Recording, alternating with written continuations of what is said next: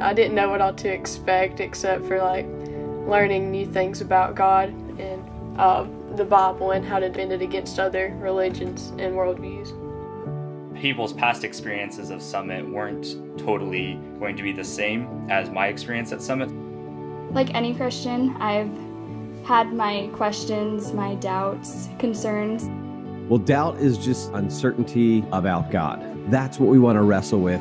It's completely different from school, it's different from youth group, it's different from church. It was something that was kind of missing in my uh, area of thinking and analyzing. It's been amazing. I've never felt this um, connected to people over an online like media platform.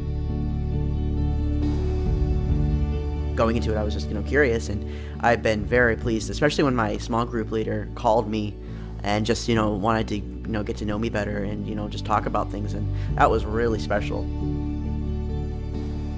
In the search for truth, there will be truth found. We can find it in God and in Scripture. And as a result of that, we have nothing to fear from the worldviews that seem to be edging our society toward chaos truth is independent of cultural perception, and that even if uh, discussing a topic might be difficult, uh, like the topic of pornography, it still is worth doing. The instant you step over the line and decide to follow Jesus, you become an ambassador. You become a representative of Christ. Summit is unique in that everybody is here with the single minded goal of pursuing a relationship with Christ. After attending Summit and like seeing what all these speakers have to say.